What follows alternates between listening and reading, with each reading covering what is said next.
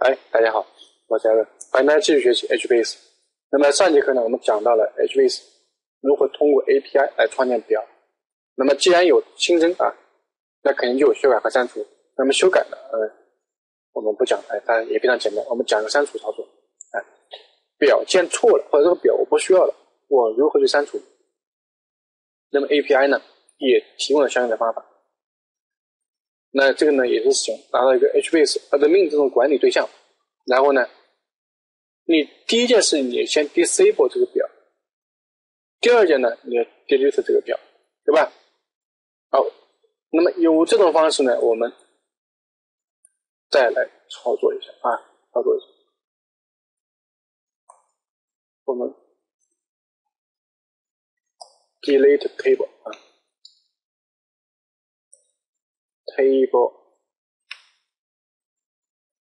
table name，哎，那我们第一件事情是不是就是，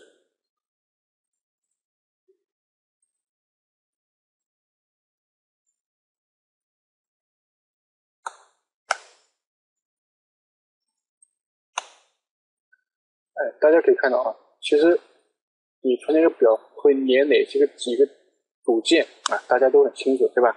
那第一件事情，它是不是要跟 master 连接、啊、keep 连接啊等等，对吧？赶紧报了异常了。好，那么拿到这个表过后，哎，我们是不是可以 admin 点 disable，对吧？disable table name，好，admin 点 delete table，对吧？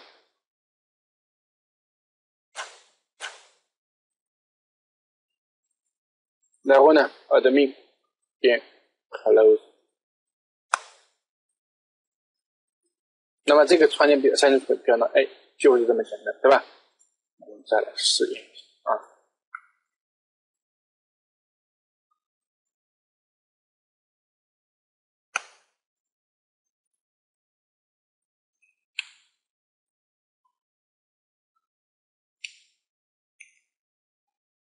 哎，我们来试验一下，我们删除一个哎不存在的表，看它会有什么情况，对吧？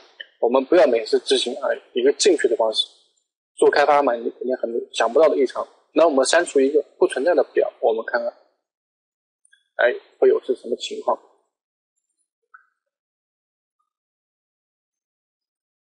哎，它也没有啊，也没有报任何异常，对吧？那 OK。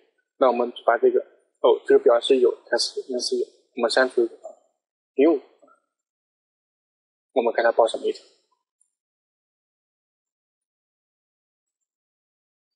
哎，它报了一层，对吧？它报什么？我们看一下，它报这个表找不到，是吧？那这个显然不是我们想得到的结果，怎么办？对？大家想想怎么办？我们删除一个表，他说找不到，报了异常，那么我们程序里面肯定不希望出现这样的异常，对不对？OK，那这个时候呢，我们在删除之前呢，做一个小小的判断啊，table exist。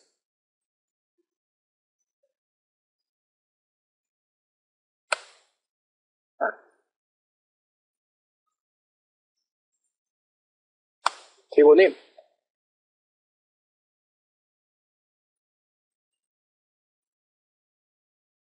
他说我先判断一下这个表哎在不在，如果这个表存在的话，那我就删掉；否则的话，我就不删除。哎，哎呀，那我们给它输出一下啊，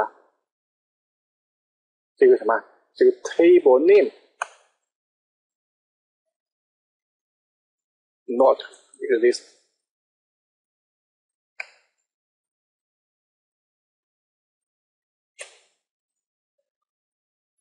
哎。这个时候，我们再来执行这个程序啊，